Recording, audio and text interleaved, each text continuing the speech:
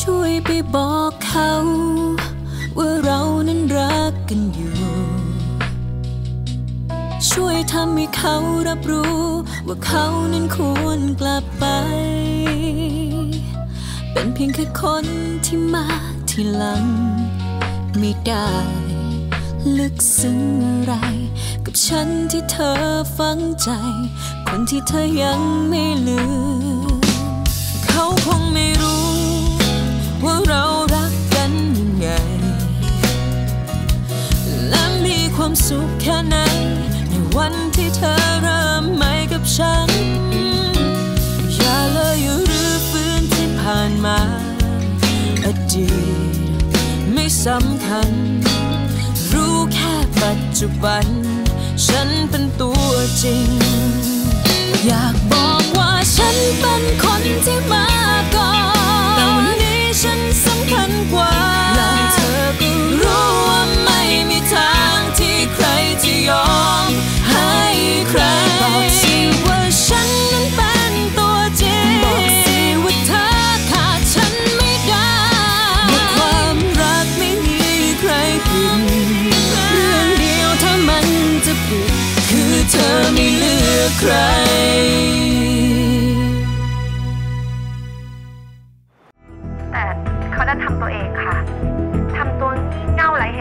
ตุผลอารว่าสอาการคล้ายคนบ้าค่ะ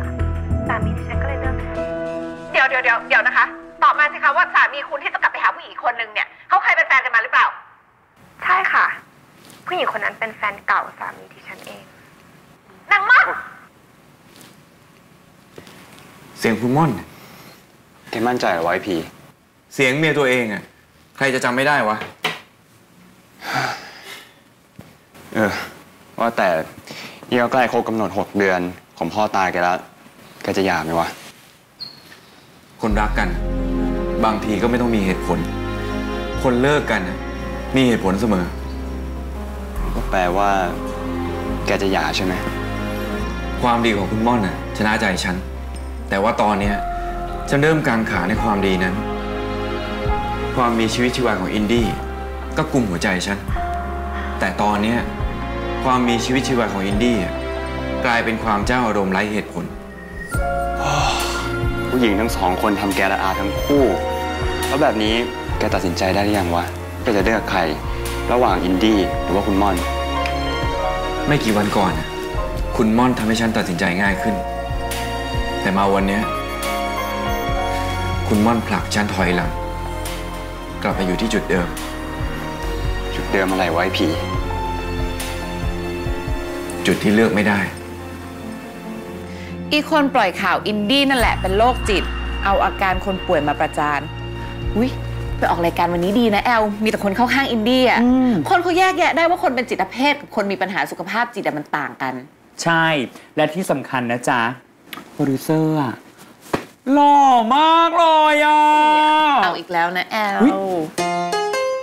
โทรหาใครอะโปรดิวเซอร์ จิกนะ หาหลักฐานจ้ะหลักฐานอะไรอะ ไม่บอก มีความลับนะ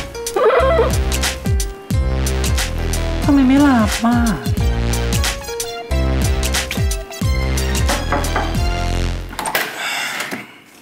เอ้าอัดพี่อินดี้ครับหืมแม่หายไปไหนอะครับ ผมปวดหัวหลับไปตื่นขึ้นมาแม่ก็ไม่อยู่แล้วอะไม่รู้สิ ตั้งแต่กลับมายังไม่เจอเลยอะเออ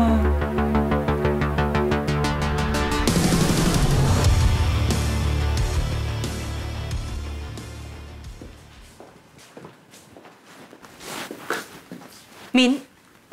พาเข้ามาทำไมเนี่ย เป็นเจอคุณป้าหน้าบ้านค่ะ คุณป้ามาเยี่ยมคุณแม่ ของเยี่ยมค่ะ ฉันอ่านสรรพคุณยาให้ฟังนะคะ สรรพคุณยา ยาบรรเทาอาการเจ็บปวดหลังถูกสามีทิ้ง ตัวยามีฤทธิ์ระงับประสาท ลดอาการฟุ้งซ่าน ไม่ให้คิดฆ่าตัวตาย กินหลังอาหารเช้าเย็น เอาไปให้หลานคุณกินสิอืมแต่ฉันว่าเหมาะกับคุณอิสรีที่สุดเลยนะคะ ลูกสาวคุณบอกว่าพ่อพยายามตามหาเมียน้อยเปล่านะคะคุณแม่มิ้นไม่รู้เรื่อง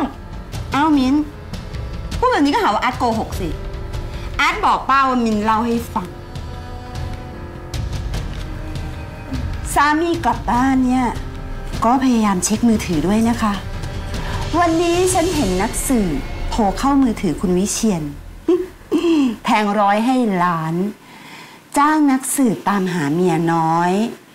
ก็เพราะว่าหัวใจมันโหยหา คุณวรพร คุณทำร้ายฉันทำไม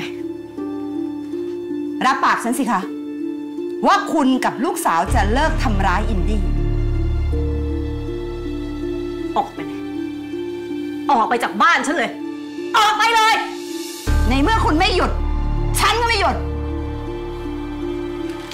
ฝากให้แม่ด้วย แม่คะมินเข้าใจผิดค่ะ คุณพ่อไม่ได้ตามหาคุณโยนะคะ อยู่บ้านเดียวกันทำไมแม่จะดูพ่อของเราไม่ออก พ่อเราอะแอบเหม่อคิดถึงแต่ตั้งเมียน้อย จ้างนักสืบตามหาเมียน้อยใช่ไหมแสดงว่าตัดกันไม่ขาดใช่ไหม ตัดกันไม่ขาด มันก็ต้องตายกันไปข้างหนึ่งอะ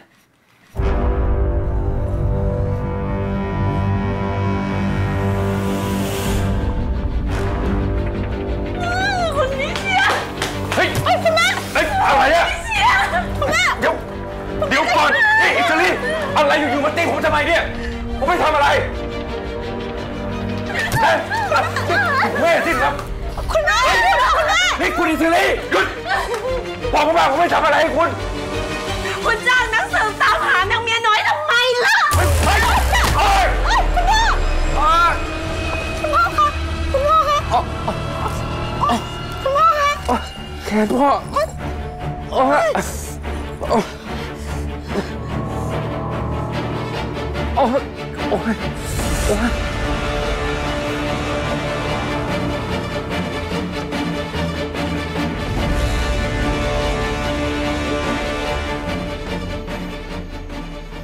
ผู้ร้ายปากแข็งคำนี้ใช้กับลูกสะใภ้แม่ได้เลยนะเนี่ยผมว่ายังมีปากแข็งอีกหลายคดีครับ ม่อนก่อเรื่องอะไรอีกอะพี่ เล่ามาให้หมดเลยนะ พ่อกับแม่อยากรู้ว่าม่อนเป็นคนยังไง อินดี้กับแอล ไม่ได้เป็นคนโทรไปเชิญนักข่าว ไปงานอีเวนต์ผมครับ ม่อนโทร ส่วนเรื่องที่ข่าวอินดี้ป่วย แอลโทรเช็คกับนักข่าวนะครับ เขาบอกว่าเป็นเสียงผู้หญิงโทรไป แล้วพอโทรกลับไปก็เป็นตู้สาธารณะ ม่อนเป็นคนฉลาดแล้วก็รอบคอบ เรื่องแบบนี้ไม่น่าพลาดหรอก ทั้งสองกรณีอะผมว่าไม่น่าจะใช่คุณม่อนทำนะครับ น่าจะเป็นคนที่ชื่อเชอรี่เป็นคนโทรมากกว่า เชอรี่ เชอรี่ไหนอีกอะเนี่ย คุณม่อนเขาเรียกว่าพี่ลี่นะครับ เขาสนิทกันตอนที่อยู่อังกฤษ แล้วทำไมคนชื่อลี่นี่จะต้องเกลียดอินดี้ด้วย คุณลี่เขารักคุณม่อนครับ ก็ต้องเกลียดอินดี้เป็นเรื่องธรรมดา เดี๋ยวเดี๋ยวเป็นไปได้ไหมว่า เรื่องทั้งหมดเนี่ย เป็นฝีมือของเชอรี่หรือบิลลี่อะไรเนี่ย ม่อนไม่เกี่ยว ผมว่าคุณลี่คงไม่ทำอะไรโดยพลาการ ผมอยากรู้ว่า คุณม่อนกับคุณลี่ ร่วมมือกันทำร้ายอินดี้หรือว่าคุณลี่ เป็นลูกมือ แล้วเมียผมไม่จอมบงการ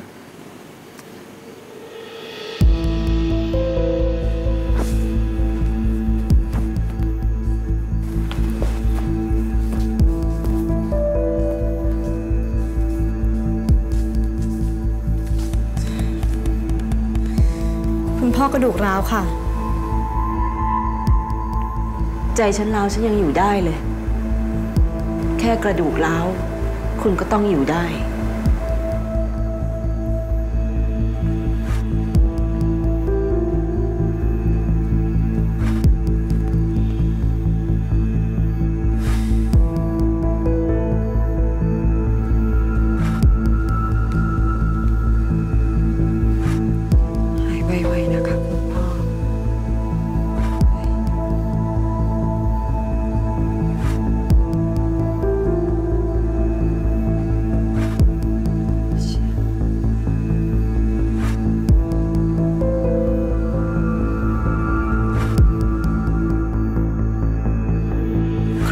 พีจับผิดพี่ ไม่เชื่อคำพูดพี่ คืนพี่ลุกจากเตียง อินดี้ก็ขึ้นมานอนแทนนะสิตอนนี้คุณแม่เป็นยังไงบ้าง ก็เหมือนเดิมอะค่ะลำพังปัญหาของพี่เอง พี่แบกแทบไม่ไหว ปัญหาของพ่อแม่ ต้องให้น้องแบกรับแทน มิ้นไหวค่ะ แต่พี่ม่อนคะ เดือนหน้าพี่พีต้องหย่า พี่ไม่หย่า ยังไงยังไงพี่ก็ไม่หย่า ล่าสุดคุยกับพี่พีว่ายังไงบ้างคะ คุณพีก็บอกว่าจะไปบอกคุณอินดี้ว่าไม่หย่าแล้ว แต่ไม่รู้ว่าป่านนี้บอกหรือยัง มัวแต่เอาเวลามาจับผิดพี่ แทนที่จะไปเคลียร์กับแฟนเก่าทุกวันนี้พี่เครียดจนนอนไม่หลับเลย ในหัวคิดวนเวียนแต่เรื่องคุณพี อินดี้ เรื่องหย่าไม่หย่า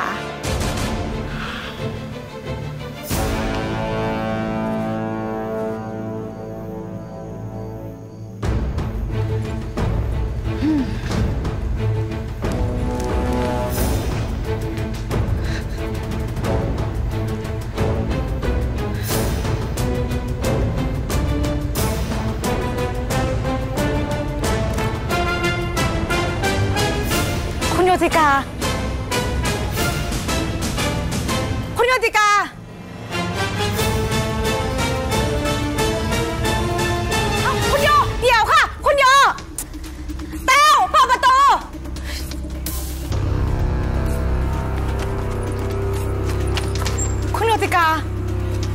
คุณมิ้นอย่าเพิ่งว่าอะไรโยเลยนะคะ โยเป็นห่วง แค่อยากมาถามว่าแขนคุณวิเชียนหักได้ยังไงคะ แล้วคุณวิเชียนเจ็บมากหรือเปล่า โยเห็นในเฟซคุณมิ้นค่ะนางโยติกา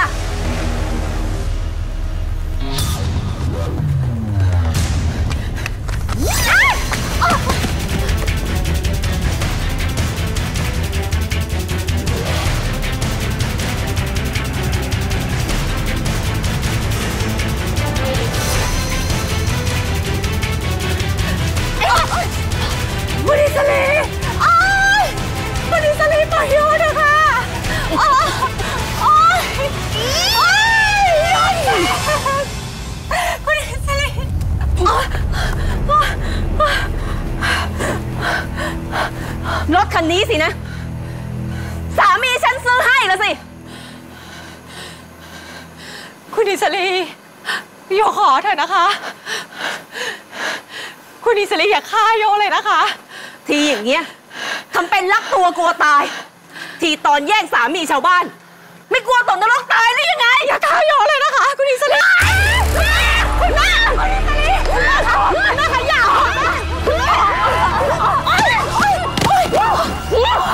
ฆ่าแกแม่เอาไปเลยคุณแม่คุณแม่ฆ่าพ่อแล้ว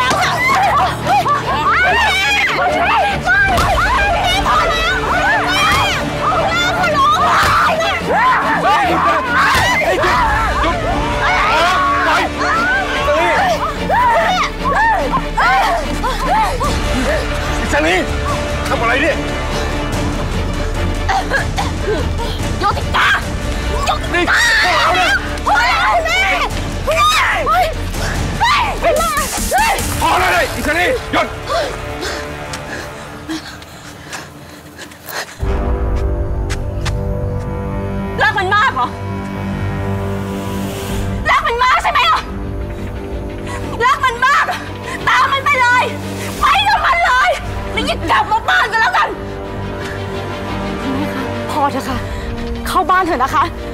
ไปค่ะคุณแม่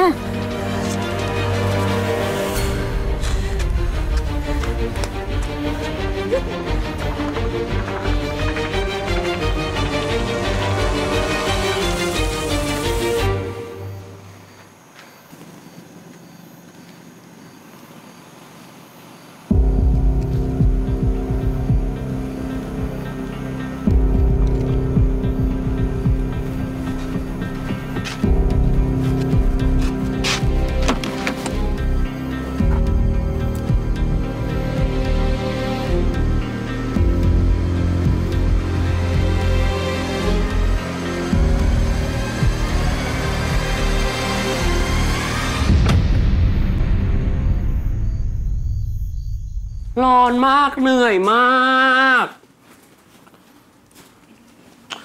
พี่แอลเหนื่อยมากเลยนะคะ ต้องการคนดูแล take care ค่ะ ดีค่ะ เออดีดีดีข้างบนคอหน่อยคอ เออเออเออเออเออพี่แอลครับช่วงนี้พี่ดูไม่ค่อยสบายใจเลยนะครับ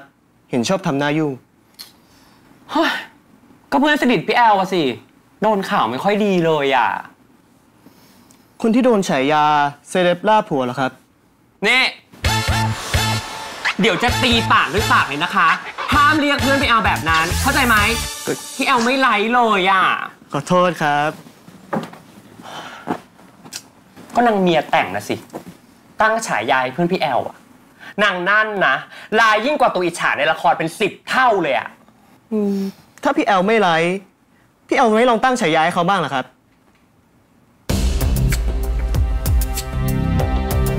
เลิศไม่ต้องเป็นราคาดารงดาราเนี่ย ไปเป็นนักคิดนักประดิษฐ์ดีกว่า พี่แอลยังคิดไม่ได้เลยแบบนี้เนี่ยอืมเก่งที่สุดเลย ขอบคุณครับ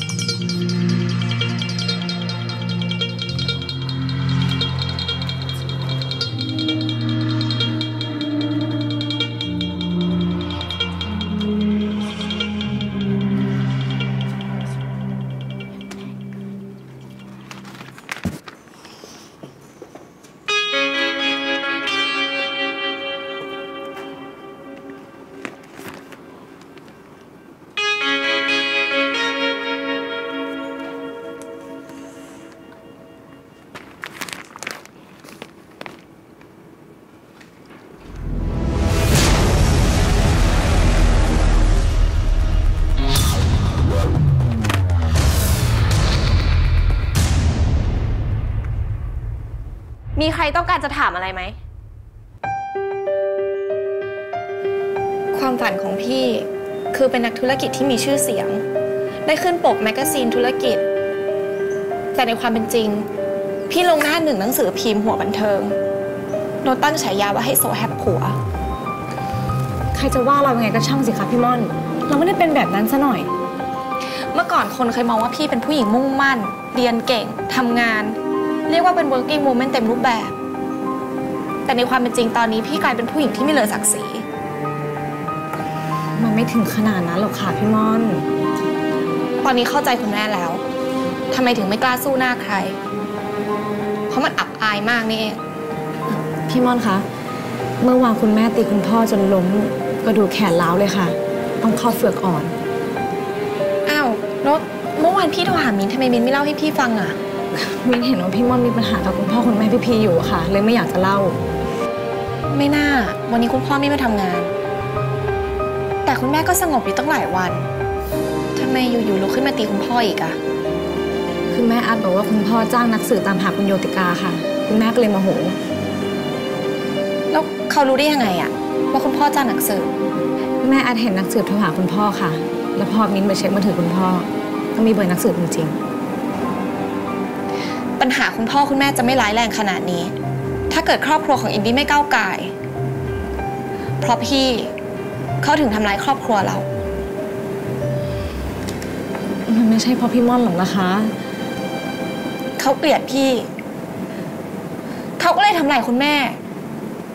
พี่เป็นลูกที่แย่มาก หาเรื่องเดือดร้อนให้คุณพ่อคุณแม่ พี่ม่อน ไม่เอาสิคะ ไม่ร้องนะ พี่มอนคือลูกคนเก่งของคุณพ่อคุณแม่นะคะ นะ ไม่ร้องนะคะ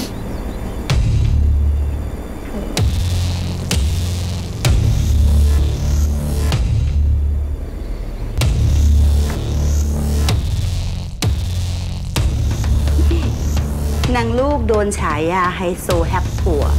นางแม่ต้องโดนฉายา ฮโซโดนแฮปผัว กระทืบไลค์18 ล้านครั้งเลยล่ะค่ะ เนี่ย กรรมที่มันทำกับอินดี้ไว้ สนองคืนทั้งตัวแม่แล้วก็ตัวลูกเลย อ้าว ไม่ไรเหรออินดี้เอาเอาคืนให้แล้วว่า วันนี้อินดี้โทรหาพีอะว่าจะชวนพีไปกินข้าว พีบอกว่าพีติดประชุม แต่พออินดี้เช็คกับเลขาเลขาบอกว่าพีไม่มีประชุม พีเขาไม่อยากเจออินดี้ต้องพาลโกรธอินดี้เรื่องฉายานางม่อนแน่เลยอะค่ะ เข้าข้างเมียแต่งตลอดเวลาเลยอะรักกันขนาดเนี้ย ก็ต้องหย่าแล้วก็ได้มั้ง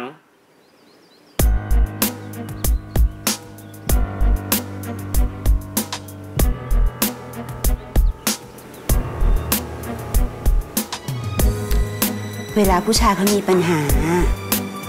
เขาชอบอยู่คนเดียว ปล่อยพีไปสักวันนะอินดี้ พีบอกว่า คนเราถ้ารักกันอะต้องเว้นระยะห่างเหมันถือปลายเชือกกันคนละข้าง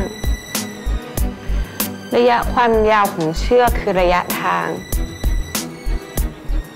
แต่เมื่อคนหนึ่งเอาแต่เดินหนี วัน ปลายเชือกก็ต้องหลุด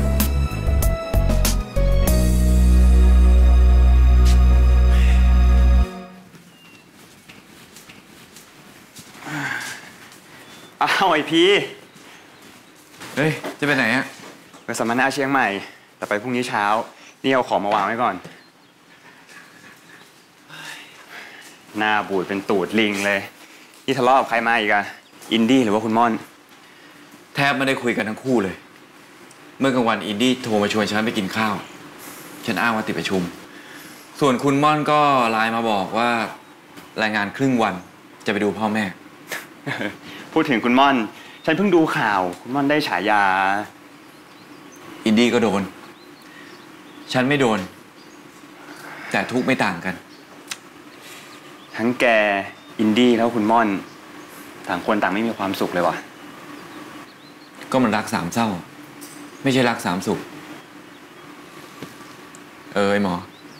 ช่วงนี้ฉันอาจจะมาบ้านแกบ่อยหน่อยนะ ขอใช้เป็นถ้ำหลบภัยหน่อย ไอพีแกอยากรีบจบปัญหานี้เร็วๆไหม ที่สุด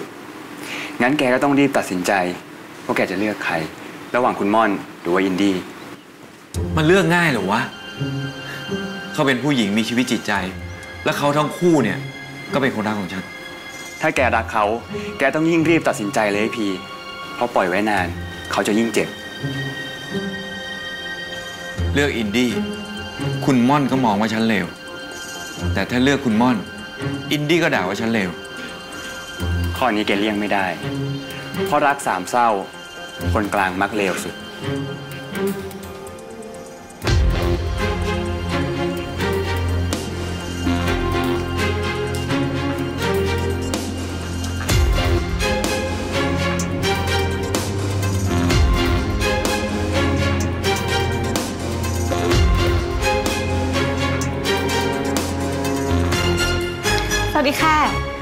สุวรรณล่ะคะ เรียกเป็นทางการเชียวค่ะ ทางออฟฟิศอะเขารู้แล้วค่ะ ว่าคุณมินน่ะเป็นแฟนกับคุณอาร์ตค่ะ คุณอาร์ตพาลูกค้าไปทานข้าวร้านข้างๆค่ะ บอกให้คุณมินรอ เดี๋ยวเชิญคุณมินนั่งรอทางนู้นดีกว่านะคะเดี๋ยวฉันพาไป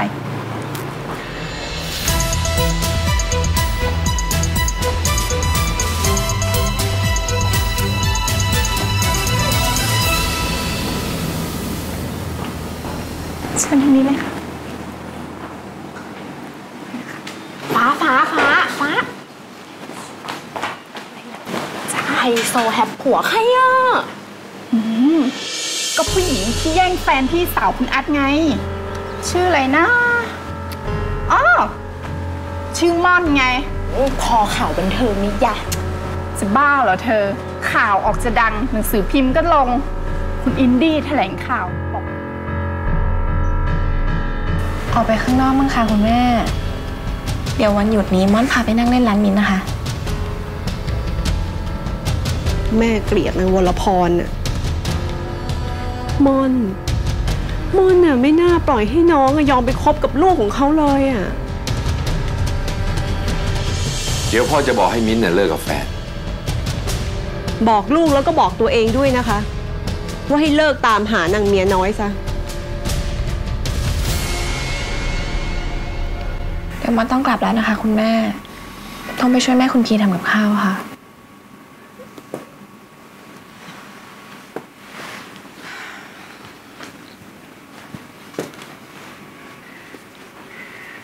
คุณพ่อจะไปหาหมอวันไหนบอกม่อนนะคะ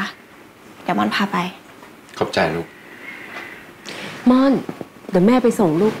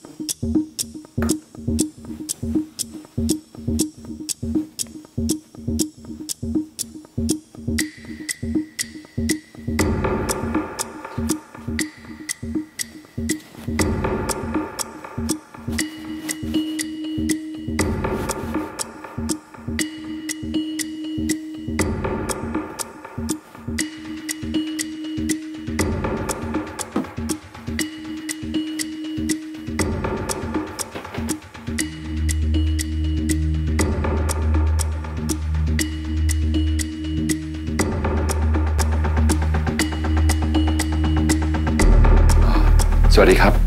คือเห็นมิสคอลแล้วคุณโทรกลับมา คุณเป็นอะไรกับโยติกาครับ อ่า เป็นเพื่อนค่ะ คือผมเป็นเจ้านายของโยติกานะครับ แล้วพอดีโยติกาเขาหายตัวไป ทิ้งโทรศัพท์มือถือไว้ ผมก็ลองโทรทุกเบอร์ในมือถือนะครับเผื่อจะมีใครเจอโยติกาบ้าง ไม่ได้เจอโยนานแล้วค่ะ ยังไงช่วยถามเพื่อนๆหน่อยนะครับ ถ้ารู้ว่าโยติกาอยู่ที่ไหนแล้วก็ช่วยโทรบอกผมที่เบอร์นี้นะครับ ครับครับขอบคุณครับ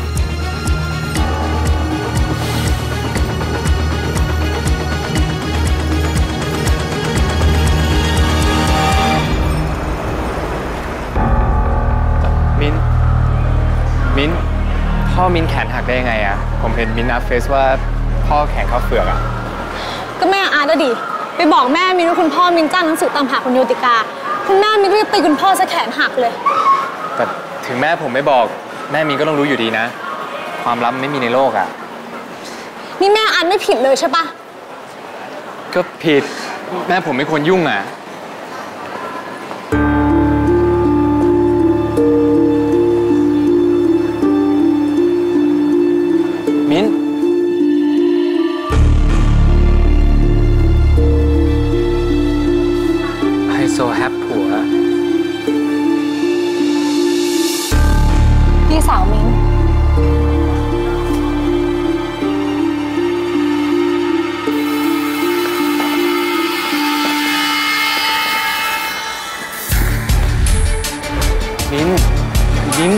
านนี้ไปทิ้งเนี่ยร้านอื่นก็มีขายนะ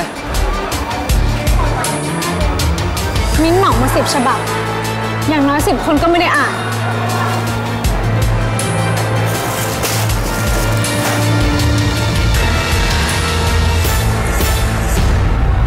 มินสงสารพี่ม่อนน่ะ พี่ม่อนเขาเป็นคนดี เขาไม่ควรโดนอะไรแบบนี้ มินถามจริงนะอาร์ต ไอฉายาเลยนั่นน่ะ พี่สาวอาร์ตเป็นคนตั้งให้พี่สาวมินใช่ไหม น่าจะพี่แอลอะแต่พี่สาวอาร์ตไม่ห้าม ก็แสดงว่าเห็นดีด้วย พี่สาวอาร์ตใจร้ายกับพี่สาวมินมากเลยนะ งั้นผมขอถามหน่อย ฉายาของพี่อินดี้อะเอ๊ะเซเลบล่าเลยนั่นนะพี่สาวมินมีส่วนไหมนักข่าวบันเทิงเป็นคนตั้ง แล้วข่าวที่พี่อินดี้ป่วยอะ พี่สาวมิ้นเป็นคนบอกหรือเปล่า มินไม่รู้ มาดูหนังก็ยังดันทะเลาะกันอีกผมก็ไม่ชอบทะเลาะเหมือนกัน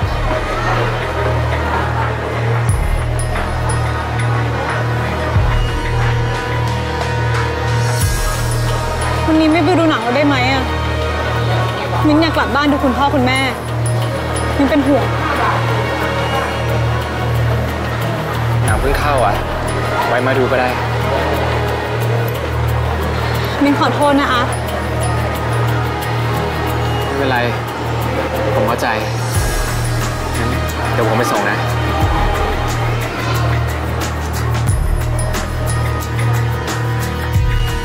อินดี้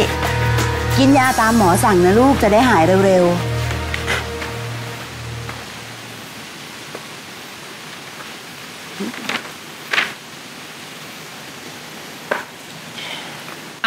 กินยาแล้วก็ท่องบทนะคะพรุ่งนี้ถ่ายละครเช้ามาก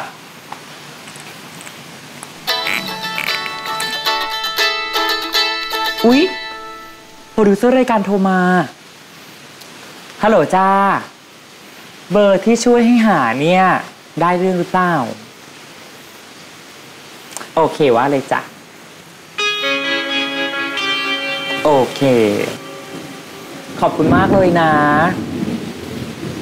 ได้ นี่ถือว่าติดเลี้ยงข้าวมือนึงเลยนะเนี่ย โอเคจ้าบ๊ายบาย เบอร์ใครอะแอล ก็รายการที่อินดี้ไปออก ช่วงที่ให้คนดูโทรเข้ามาปรึกษาปัญหาน่ะ ทีมงานเขาก็ต้องขอเบอร์ไว้ ในกรณีที่สายหลุดจะได้โทรกลับไปได้ๆเอาเบอร์มาทำอะไรแอล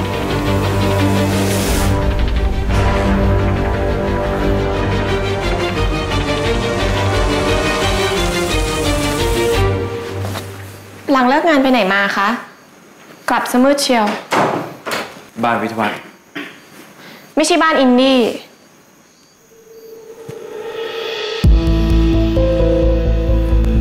พรุ่งนี้วันเสาร์ผมว่าจะไปเยี่ยมคุณวิเชียน เลขาบอกว่าแขนหัก คุณพ่อยังไม่อยากเจอใครค่ะ ไม่อยากตอบคำถาม คุณแม่ก็ยังโกรธคุณพ่อ ตอนนี้บ้านของม่อน ใกล้คำว่าบ้านแตกแล้วค่ะ ทุกครอบครัวเนี่ยมีปัญหานะครับ คิดแก้ไขปัญหาดีกว่ามานั่งคิดมากนะครับ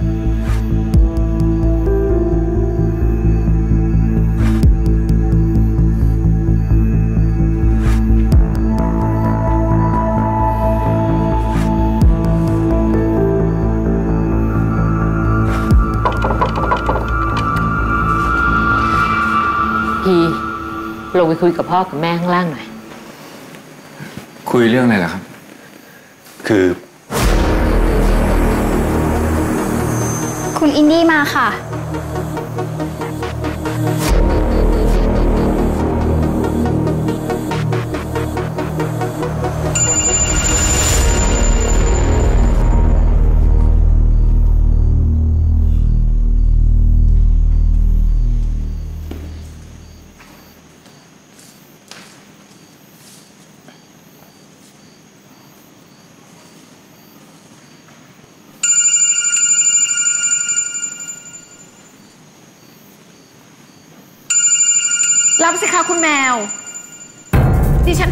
ด้วยความเป็นห่วง ว่าสามีคุณแมว เลิกติดผู้หญิงหรือยังคะ ลืมละสิ ตอนเธอโทรไปป่วนอินดี้ในรายการ ทีมงานเขาขอเบอร์ติดต่อกลับ เธอใช้ชื่อปลอม แต่ดันโง่บอกเบอร์จริงไม่ตายโง่จังนะคะที่ม่อนทำไปทั้งหมดเพราะว่าม่อนรักคุณพีนะคะ รักก็เลยทำเรื่องเร็วๆอย่างนั้นน่ะเหรอ อีกไม่ถึงเดือนอะ พี่เขาจะทิ้งเธอแล้วก็กลับมาหาฉันแล้ว คุณพีทิ้งม่อนไม่ได้นะคะ ม่อนเป็นภรรยาคุณพีทั้งนิตินัยและพฤตินัย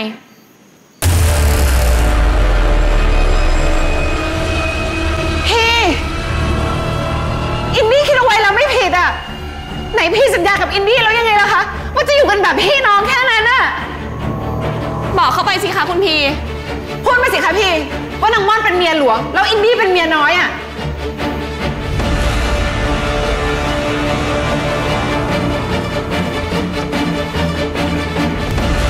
พปัญหามันคาราคาซังมาเป็นเดือนน่ะจะมาคาดคั้นอะไรตอนนี้ มันบีบคั้นกันเกินไปนะ ก็เลยทิ้งปัญหาให้ผู้หญิงสองคน ส่วนผู้ชาย ก็ลอยตัวเหนือปัญหา ลูกชายดิฉันมีความรับผิดชอบพอ ไม่โยนปัญหาไว้ให้ผู้หญิงหรอกค่ะ เรื่องระหว่างเราอะผมเองก็มีส่วนผิด ที่ปล่อยปัญหาให้เรื้อรัง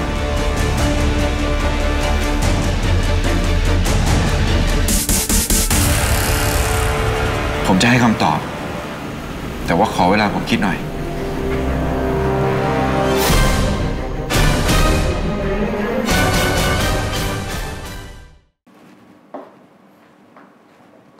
ระหว่างที่คุณพีตัดสินใจ ไม่เห็นจำเป็นต้องออกไปนอนห้องพักแขกเลยนี่คะ ผมอยากคิดเงียบๆนะครับ คุณม่อนครับ ผมรู้นะครับว่าคุณกับคุณพ่อคุณ ตั้งเงื่อนไขอีกหกเดือนหย่าเพื่อยืมไม่ให้ผมหย่าค่ะม่อนยอมรับค่ะ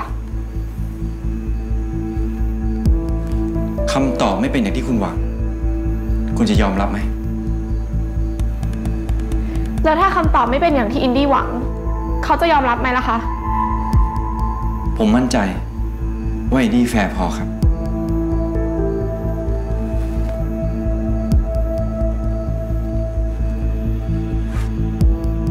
ฝ่ายใดฝ่ายหนึ่งไม่ยอมรับ ปัญหาก็จะไม่จบนะครับ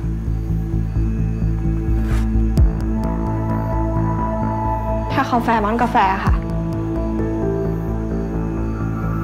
ถ้าคุณพีเลือกอินดี้ม่อน ม่อนก็จะหย่าให้ค่ะ อยากบอกว่าฉันเป็นคนที่มาก่อนแต่วันนี้ฉันสำคัญกว่า และเธอก็รู้ว่าไม่มีทางที่ใครจะยอม ให้ใครบอกสิว่าฉันนั้นเป็น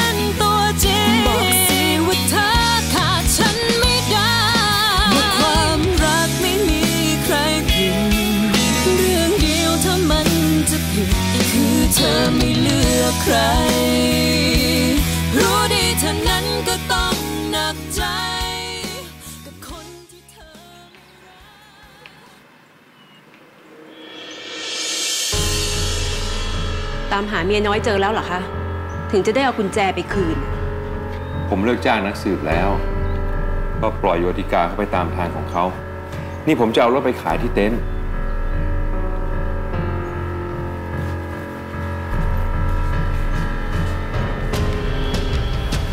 สวัสดีค่ะ คุณวิเชียน แขนเป็นยังไงบ้างคะแล้วคุณหมอว่ายังไงบ้างเรื่องเปลือก ก็หมอเขาให้ใส่ไว้ประมาณเดือนหนึ่ง ตามสบายนะครับ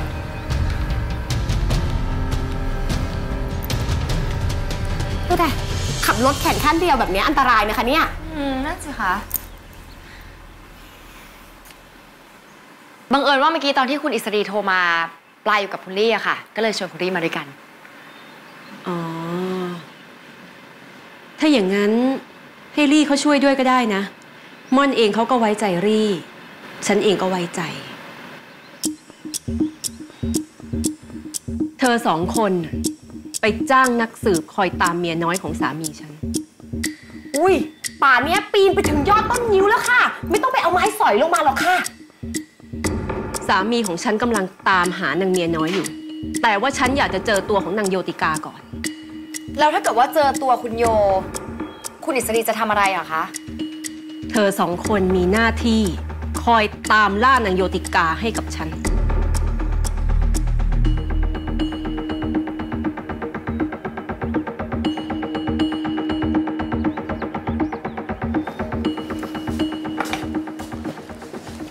านเงียบเชียคุณวรพรกับอาร์ตไปไหนล่ะป้าวีออกไปธุระอะส่วนอาร์ตไปหาแฟน แอล เมื่อคืนอินดี้นอนไม่หลับอะนางม่อนนอนอยู่บนเตียงเดียวกับพีอะมีโอกาสทำคะแนนได้มากกว่า สามารถเอาอกเอาใจพีได้อะก็ถ้าเกิดภาษามวยเนี่ย เขาก็เรียกว่าช่วงชกได้เปรียบ ดีไม่ดีนะ เมื่อคืนเนี่ยหนึ่งม่อนมันชกใต้เข็มขัดด้วยซ้ำ อ้าว เอาอินดี้ไปไหนล่ะ รอด้วยสิ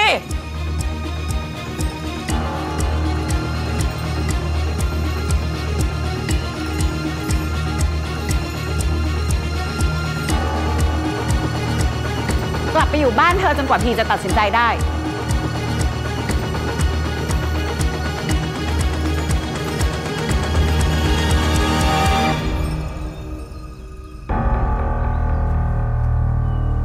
ตราบใดที่ยังไม่หย่า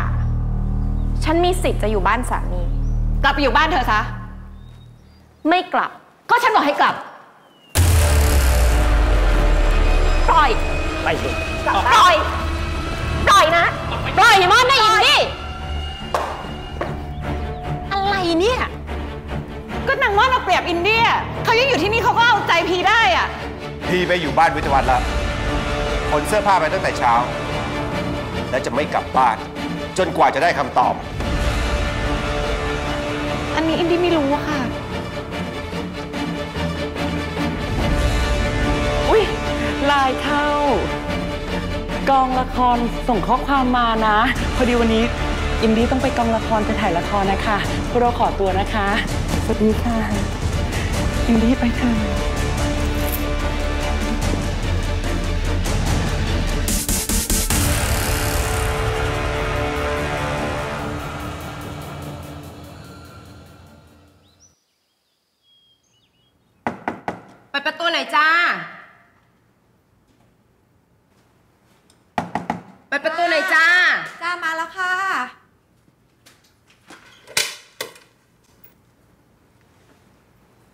มีอะไรเหรอคะ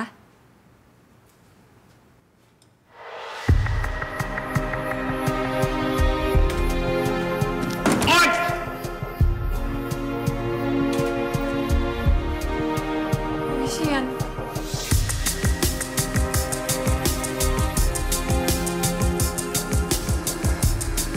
ตามหาโยเจอได้ยังไงคะ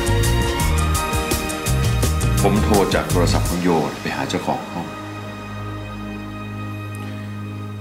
โย คุณรู้ไหมว่าตอนที่คุณไม่อยู่เนี่ย ผมทรมานมากเลยนะ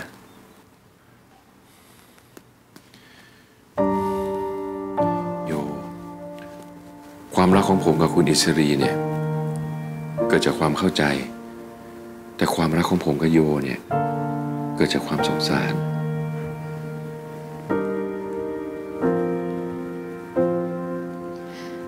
รักทั้งคู่ ก็เลยจะเก็บไว้ทั้งคู่อย่างนั้นเหรอคะ โยชอบหาว่าผมนะโกหกโย ต่อไปนี้ผมจะพูดแต่ความจริง ผมไม่มีวันหย่าเมีย และผมก็ไม่มีวันเลิกกับโยด้วยเห็นแก่ตัว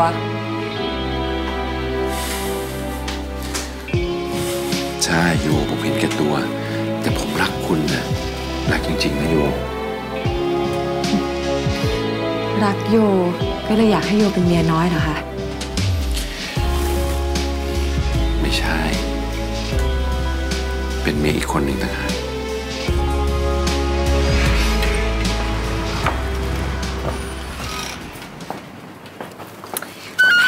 อะไรคะ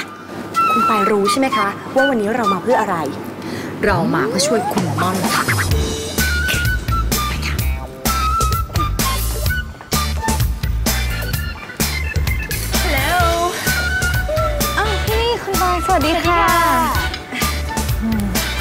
ะมาแถวนี้เหรอคะ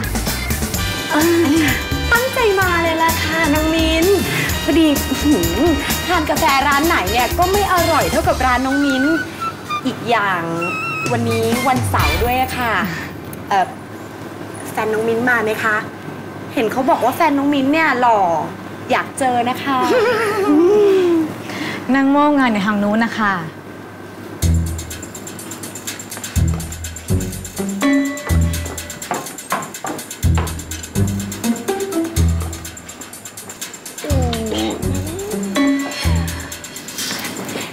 องชายอินดี้หล่อหล่อค่ะ พี่ว่าน้องมิ้นลองเกริ่นกับแฟนก็ดีเหมือนกันนะคะ ทางนู้นเนี่ยเขาจะได้เตรียมรับมือพเพราะว่าคุณรณพีเนี่ยเลือกน้องม่อน แล้วก็จะไม่หย่ากับน้องม่อนละค่ะ พี่รู้ได้ยังไงคะพอดีพี่ไปเจอน้องม่อนที่บ้านคุณปลายนะคะใช่ค่ะ แล้วน้องม่อนบอกว่ามีข่าวดี เพราะฉะนั้นข่าวดีของเราก็น่าจะเป็นข่าวร้ายของเธอนุ้ง คุณจะโทรหาพี่มอนค่ะ โอ้อย่าเลยค่ะ คือคุณม่อนเนี่ยนะคะ บอกไว้ว่าคุณพีเนี่ยอยากให้ปิดเรื่องนี้เป็นความลับค่ะ เพราะว่ากำลังหาวิธีการพูดกับอินดี้อยู่แต่เราสองคนเนี่ยเข้าใจหัวอกผู้หญิงเหมือนกัน ก็เลยอยากมาบอกคุณมิ้นเผื่อคุณมิ้นจะไปเตือนเตือนทางนู้นนะคะ คุณป้ากับพี่ลี่สั่งกาแฟได้ที่เด็กเลยนะคะ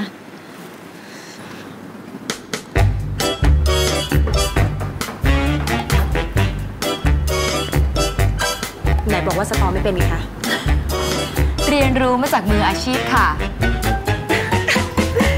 ชม ชม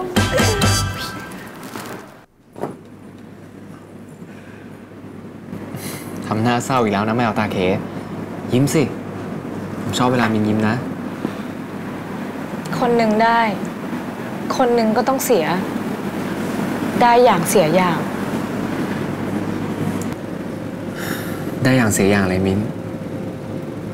พูดกันดัง ๆ หน่อยก็ไม่ได้ ก็คงคุยกันเรื่องที่คุณพีไม่ยอมหย่านั่นแหละค่ะ เรื่องพี่ ๆ ใช่ไหม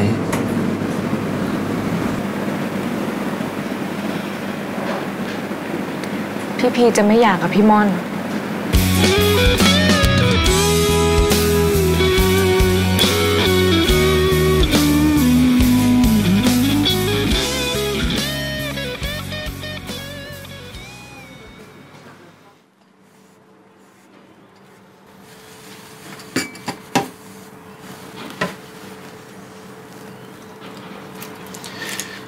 คุณจอดอยู่ข้างล่างนะโย ผมขับมาคืนแล้ว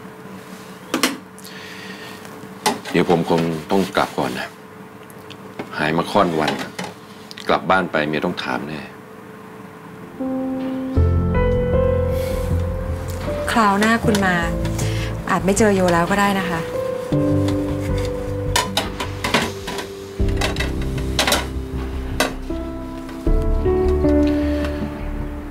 ผมทิ้งคุณไม่ลงเพราะความรัก คุณก็เหมือนกัน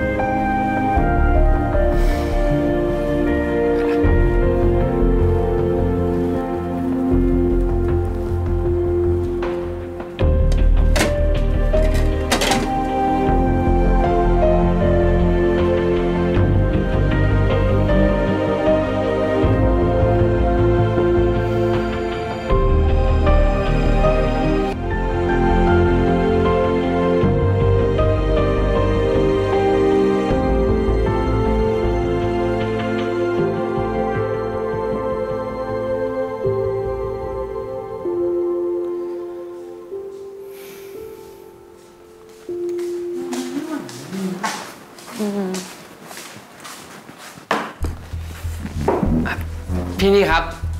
ถ่ายละครเหนื่อยไหมครับ นิดหน่อยอะ ผมว่าพวกเราไปเที่ยวญี่ปุ่นกันดีไหมครับ ไปพรุ่งนี้เลย ปกติอาจจะไปเมืองนอกเนี่ยอัดแพลนเป็นเดือนเลยนะ นี่ทำไมอยู่ดีๆ มาชวนปลุกปรับอ่าผมอยากให้พี่พักอะครับ แล้วก็จะได้หนีความวุ่นวายที่เมืองไทยด้วย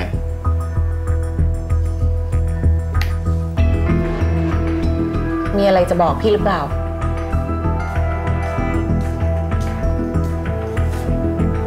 คือ มิ้นเขาบอกว่า พี่พี พี่พีเขาจะแพลนอนาคตกับพี่สาวมิ้นนะครับแผนอนาคต หมายความว่ายังไงอะ คุณพีเรื่องนางนั่นเหรอเอ่อคือ มิ้นก็ยังไม่ sure นะครับ ผมว่ารอพี่อินดี้คุยกับพี่พีดีกว่าครับ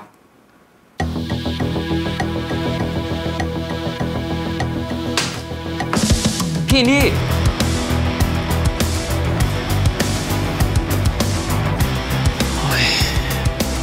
น่าพูดเลยเรา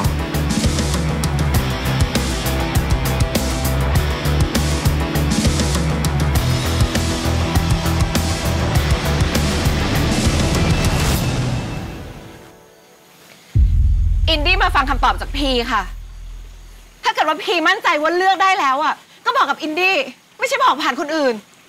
บอกผ่านคนอื่น มิ้นท์น้องสาวนางม่อนบอกกับอัดว่า พี plan อนาคตร่วมกับพี่สาวเขาแล้วอะอนาคตของพีไม่มีอินดี้วันนี้ทั้งวันผมยังไม่เจอคุณม่อนเลย แล้วผมจะเจอมิ้นท์ได้ยังไง พีพียังไม่ได้เลือกเหรอคะ ก็ผมบอกแล้วไง ว่าผมขอเวลา แฟนอัดแต่งเรื่องอะ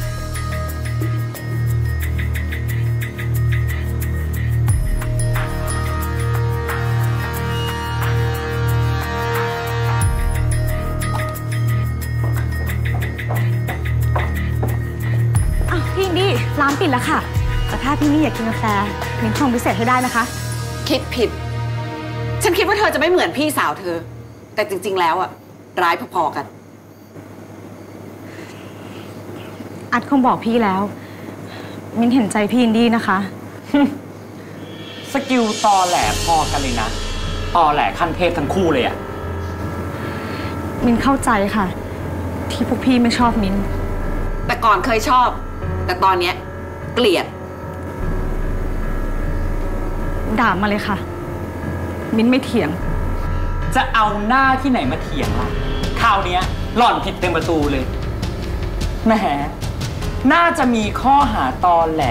ที่โทษเนี่ยหนักพอๆกับให้การเท็จเนาะฉันจะจับชนีเด็กแก่ได้เข้าคุกให้เข็ดเลย ฉันไม่น่าใจกว้าง ปล่อยให้น้องชายฉันคบกับเธอเลย ชนีเด็กต่อแหล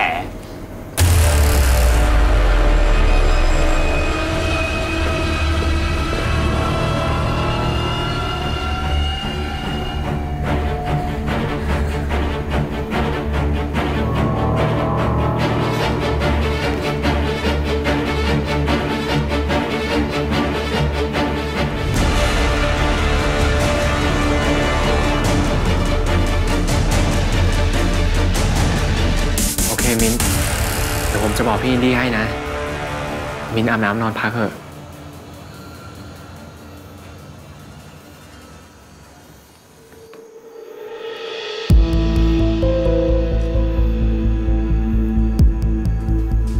พี่ดีครับ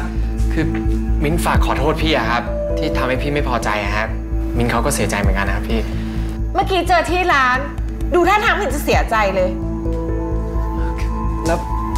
พี่ไปร้านมิ้นถูกได้ไงอะครับ ก็โทรถามทางคุณพีนะสิ เลิกเหอะอาร์ตเด็กคนเนี้ยโกหกตอแหลลายลึกเหมือนพี่สาวนั่นแหละ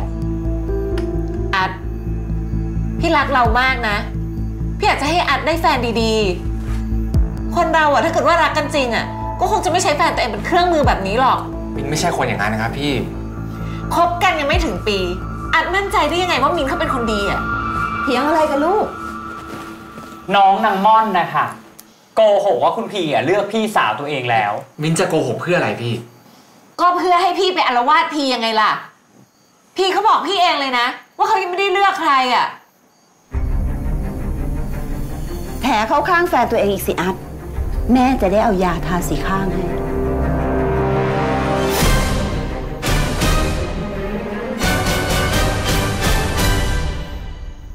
อยากบอกว่าฉันเป็นคนที่มาก่อนแต่วันนี้ฉันสำคัญกว่า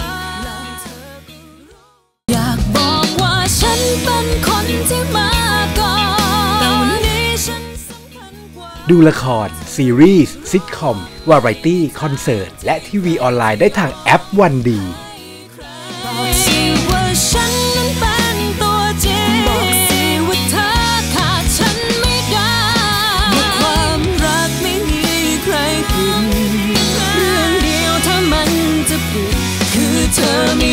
ดี